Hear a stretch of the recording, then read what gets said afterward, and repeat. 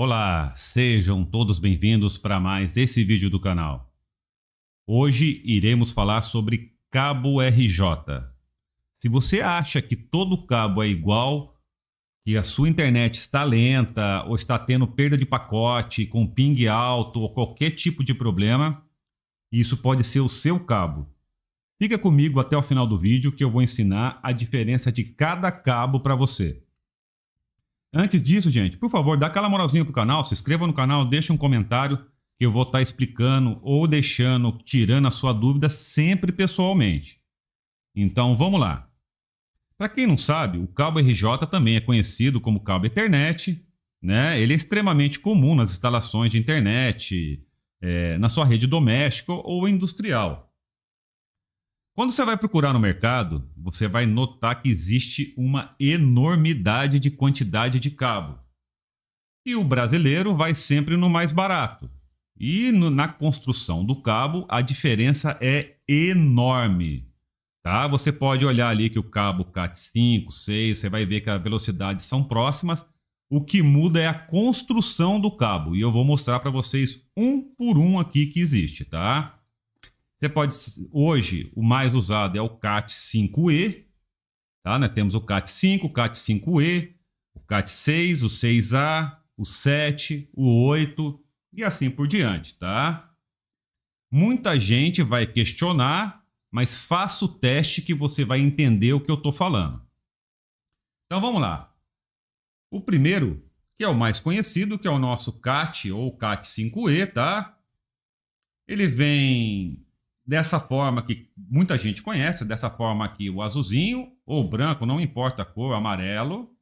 Mas vocês podem ver que ele vem aqui com os quatro pares aqui dentro e nenhuma mais proteção. É simplesmente os quatro aqui e mais o cabo protegendo os quatro pares que estão ali dentro.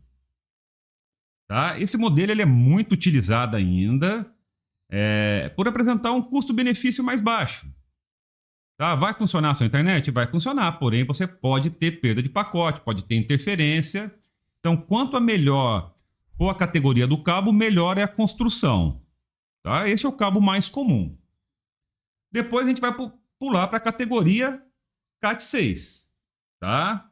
No cabo, na, no cabo, na categoria CAT6, a principal mudança foi na transferência de dados, tá? Ele pode atingir velocidades até 1 GB em distância de até 100 metros. Então você tem que observar a distância que você vai colocar o ponto. Tá? Em até 100 metros, ele é excelente. Mas vocês já podem ver que dentro na construção dele já é um pouquinho diferente do CAT 5 e do CAT 5E. Ele já existe aqui uma parte de plástico fazendo o isolamento de cada par.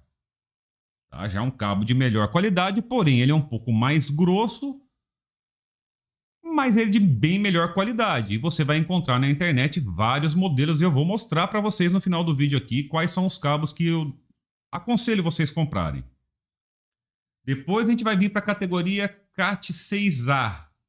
Isso daqui já é uma categoria que você pode ver que existe uma blindagem em volta do cabo aqui, tá? uma malha aqui, vai ver que existe um alumínio protegendo ele e mais o miolo dele aqui fazendo a separação dos quatro pares. Tá? Uma construção muito melhor do que o CAT 5 e o CAT 6 normal. Depois vamos pular para a categoria CAT 7. Aí já é um nível bem maior. Vocês vão ver que a construção do cabo é muito melhor. Certo? Vocês vão ver que a construção é bem melhor. E na, e na categoria CAT 7, os cabos chegam a suportar transferência de velocidade até giga, até 10 GB em distância até 100 metros. Entenderam? Categoria interior, você consegue a velocidade de 1 GB até 100 metros. Na categoria CAT7, você vai conseguir até 10 GB. Porém, olha a construção do cabo, como ela é muito melhor. Tá? Você vai ver que ele existe todo isolamento de alumínio, os cabos são de qualidade, existe uma malha protetora aqui de aterramento, tá? que vai evitar ali que tenha transferências, e existe vários tipos de construção de cabo. Conseguiram entender? Porém, o valor dele é um pouquinho mais alto, né? Não sei se compensa para todo mundo. No meu caso, eu utilizo o cabo CAT8, que é este daqui. Aí você já pega um cabo realmente de uma construção muito melhor. Tá? Você vê que tem uma malha aqui para evitar né, a, a, a interferência. Cada par é isolado por alumínio. Existe um um aterramento aqui que ele é soldado no conector, tá? Então é um cabo de ótima construção. E a distância que ele atinge, na verdade, ele atinge uma distância um pouco menor, porém com uma velocidade bem maior, até 40 gigas. E aí a distância dele vai até 30 metros, que é o recomendado. Tá? A partir de 30 metros você vai ter uma perda. Então, vocês vão me perguntar, qual é o melhor tipo de cabo, então? É, tudo está relacionado ao equipamento que você está usando, tá? O melhor cabo vai depender da sua necessidade, do seu projeto. Se você é um cara que joga é, online, depende de ping, depende de perda de pacote, quanto maior for a categoria, é melhor a construção do cabo, tá? Vocês vão ver aí pelo, pelas fotos que eu deixei no vídeo, vocês vão ver que é bem melhor a construção de um para o outro. Agora eu vou tentar mostrar para vocês o porquê que compensa realmente você comprar um cabo de qualidade. Então, se você entrar na internet aí, uma marca bem conhecida, você consegue comprar no AliExpress, que é bem mais barato, tá? Direto do fornecedor lá. E essa marca Ventium, tá? É uma marca muito boa e os cabos você encontra ele com preço justo. E a construção do cabo ele é realmente muito melhor do que qualquer cabo nacional aqui. Então vocês podem ver que ele tem o conector banhado a ouro. Você existe a versão flat dele que é mais fininho. Existe o cabo redondo. Existe o cabo de, do tamanho que vocês precisarem. Tá? Eu vou entrar aqui num site do AliExpress aqui para a gente dar uma olhadinha em valores deles hoje, tá? Então, se vocês olharem aqui, ó, pode ver que a, a gente entra no site da, da própria Vention aqui, eu só para mostrar para vocês, tá? Então, no caso, ó, vocês têm cabo aqui de meio metro, 10 metros, 5 metros, 15 metros, 20 metros, o tamanho que você precisar você vai ter aqui. Tá? Vamos colocar aí uma, uma distância pequena de 5 metros. Um cabo CAT7.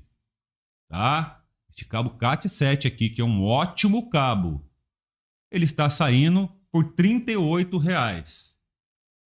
É claro, lá na China você vai pagar o imposto, né? Mas aí vai depender de quantos cabos você vai comprar, qual é a quantidade de cabo.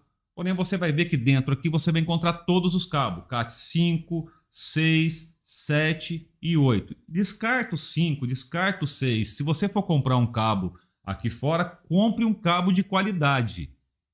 Tá? Você consegue comprar esse, esse cabo aqui no Brasil também. Porém, eu aconselho que vocês comprem fora, porque é bem mais barato. Vai demorar um pouquinho para chegar, você vai pagar o imposto, mas ainda se compensa. Gente, espero que esse vídeo tenha sido claro para vocês. Se você ainda está tendo algum problema com algum tipo de cabeamento aí, deixa aí no comentário que eu vou ajudar você pessoalmente, tá? Se você quiser, é só procurar no AliExpress ou em qualquer site aí, lá de fora ou aqui do Brasil, que você vai encontrar todas as categorias de cabo, tá? Tanto CAT 7, 8, qualquer cabo que vocês quiserem. Eu estou recomendando essa marca, é uma marca que eu uso há alguns anos e ela é mais barato. Porém, você pode usar qualquer outro cabo de qualquer outra marca, tá? Gente, espero que esse vídeo tenha sido um pouco esclarecedor para vocês. Se caso vocês gostaram, deixe um comentário. Que Deus abençoe e que vocês tenham uma ótima semana. Um abraço.